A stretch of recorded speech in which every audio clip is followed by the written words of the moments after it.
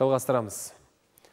Әлеуметтік желіде Астана қаласындағы бірнеше мектепке қарулы шабуыл жасалғалы жатыр деген ақпарат тарады. Автор өзінің мейлінше көп адамды өлтіруге тырысатынын және бұл қанды оқиға астаналықтардың мәңгі есінде қалатын жазған. Тіпті ол сөзін бір жылға жуық дайындалған актіге 20 адам қатысады деп нақтылайды. Алайда полицейлер елді дүрлікпеуге шақырып, телеграм желісінде жарияланған жазба шындыққа жанаспайтынын айтты.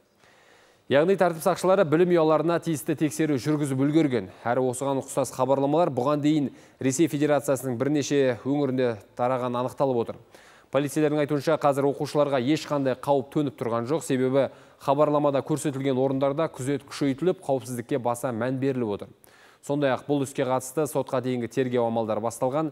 Ішкі істер министрлігі болса, терроризм актісі туралы жалған ақпарат таратқан үшін қылмыстық жауапкершілік барын еске салады. Демек, мұндай әрекетке барған адам 5 жыл мерзімге бас бостандығынан айырылуы ықтимал немесе 5 мың айлық есептік көрсеткіш, яғни 18 миллион 480 мың теңге көлемінде айыппұл арқалайды. Айта кетейік, биыл ақпан айында Ақтөбе, Атырау, Алматы, Павлодар, Қарағанды және Қостанай қалаларында да экстремистік шабуылдар жайлы ақпарат тараған еді қала мектептерінде терроризм қаупі туралы кең таралған жарияланым шындыққа жанаспайтынын хабарлайды. Білім беру ұйымдары тиісті қызметтермен тексерілді. Тұрғындардан тыныштықты сақтауды және ресми ақпаратты ұстануды сұраймыз.